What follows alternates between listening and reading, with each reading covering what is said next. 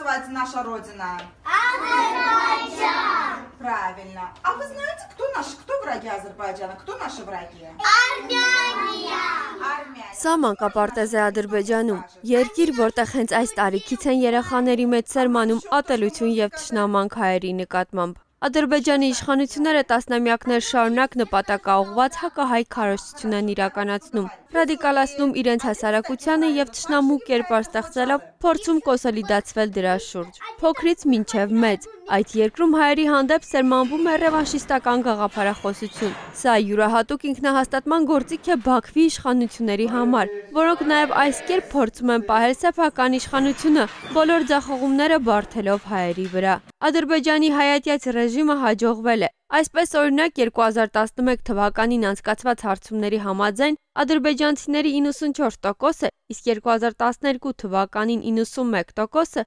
երկրի ամենամեծ թշնամին են համարել հայերին։ Հետազոտությունն արվել է Կովկասյան վերլուծական դայջեստի կողմից։ Իսկ այս տեսանյութում կարելի է տեսնել, թե ինչպես են ադրբեջանցիները հայերեն սովորում եւ ինչպես են արտահայտվում հայերի հասցեին։ հայկական կողմը խախտելով հրադադարը, հարցակում է գործել մեր զինակետերի, զորամասերի և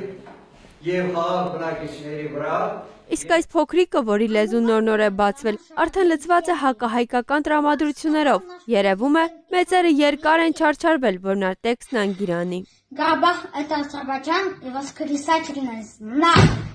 Ադրբեջանի դպրոցական դասագրքերում հայատյացության դրսևորումներին կարելի է ծանոթանալ Azeri Child կայքում։ Այստեղ հնարավոր է գտնել բոլոր առարկաների ու բոլոր դասարանների դասագրքերում հայերի նկատմամբ ատելության սերմանում։ Օրինակ, երրորդ դասարանի ճանաչել աշխարհը դասագրքի 63-րդ էջում նշված է, թե այն տարածքը, որտեղ գտնվում է Հայաստանի Հանրապետությունը, պատմականորեն պատկանում է ադրբեջանական թուրքերին։ Չորրորդ դասարանի ռուսաց լեզվի դասագրքում կարող են կարդալ, թե ինչպես է դարեր շարունակ Ադրբեջանի ժողովուրդը տուժել հայերի ոտնձգություններից։ 2014 թվականի դեկտեմբերին Յենի Մուսավաթերթը գրել է, որ հայատյացությունը Ադրբեջանում դարձել է համապետական զբաղմունք։ Թերթում ասվում էր, որ Ադրբեջանում հայատյացությունը հասել է այն աստիճանի, որ այդ երկրում հանգիստ ապրելու համար անհրաժեշտ է պարզապես մեղադրել որևէ մեկին հայ լինելու կամ հայկական դիրքորոշում ունենալու մեջ։ Ընդ որում անհրաժեշտ չեն փաստարկներ, հնարավոր է ուղակի մեղադրել մարդուն ու դառնալ իշխանության սիրելին։